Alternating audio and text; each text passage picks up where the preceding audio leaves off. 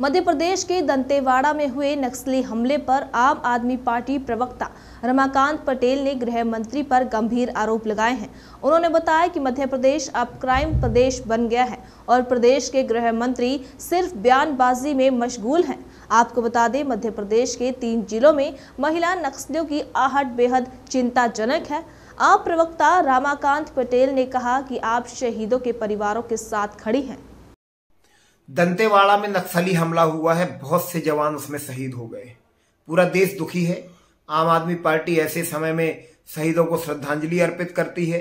इस दुख की घड़ी में आम आदमी पार्टी शहीद परिवारों के साथ है।